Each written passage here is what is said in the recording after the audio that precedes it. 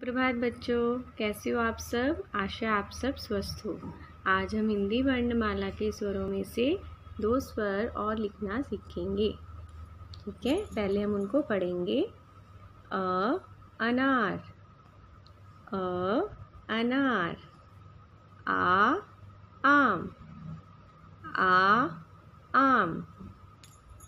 शुरू करते हैं लिखना। जैसे कि आप सब जानते हो, आपने इन दो लाइनों में ही लिखना है। सबसे पहले हमने थ्री बनाना है, ऐसे। फिर इस कर्व को थोड़ा ऊपर लेके गए और छोड़ देना है। फिर यहाँ बीच में से एक छोटी सी स्लीपिंग लाइन बनानी है। फिर यहाँ ऊपर से एक स्टैंडिंग लाइन ऐसे। और इसी लाइन के ऊपर ऐसे हम छोटी सी लाइन और बनाएँगे। तो ये क्या बन गया? अनार, एक बार फिर से देखते हैं। सबसे पहले हमने थ्री बनाया।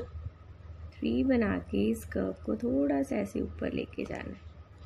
ठीक है? फिर स्लिपिंग लाइन फिर वन स्टैंडिंग लाइन ऐसे बनानी है और फिर यहाँ पे ऊपर एक छोटी सी स्लिपिंग लाइन बना देनी है। तो ये क्या बन गया? अ अनार। आगे है अ आम। आ, आम भी बिल्कुल वैसे ही है। सबसे पहले हम थ्री बनाएँगे। कर्व को ऊपर लेके गए, छोड़ दिया। स्लीपिंग लाइन स्टैंडिंग लाइन ठीक है? ये क्या बन गया? अ। अ बन गया ना ऐसे पूरा। अब अ के साथ ही हमने एक और स्टैंडिंग लाइन ऐसे लगा देनी है। तो ये क्या बन जाएगा? आ आम। एक बार फिर से बनाते हैं। थ्री बना के कर्व लेके गए ऊपर। छोड़ देना है। स्लीपिंग लाइन स्टैंडिंग लाइन लगा के यहाँ ऊपर फिर से स्लीपिंग लाइन लगाई तो ये क्या बन गया? अ, अनार।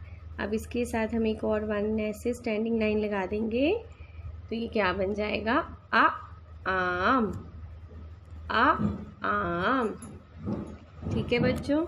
तो अब आपने घर पे भी अ से अनार और आ से आम का इसी तरह अभ्यास करना है। धन्यवाद।